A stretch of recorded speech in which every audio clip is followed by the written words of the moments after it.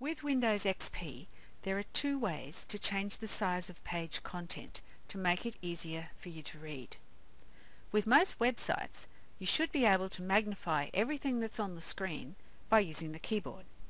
Use Control plus to make things bigger and Control minus to make things smaller. I'll now close this browser window. You can also increase the size of text on web pages by using the operating system's font size setting in Display Properties. You can open the Display Properties window in two ways.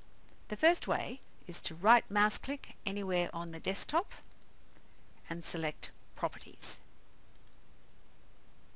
I'll just drag that down to make it clearer. That's the Display Properties window. I'll now close that window and show you the second way to get to the Display Properties box. Go to the Start menu and click Control Panel.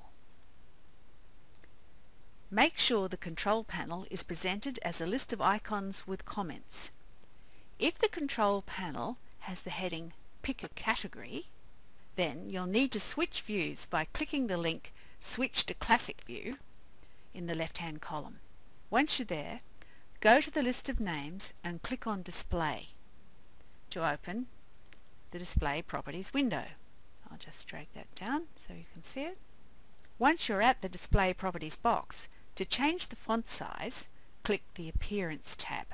Go to the Font Size drop-down menu and select Large Fonts or Extra Large Fonts to make the text size bigger.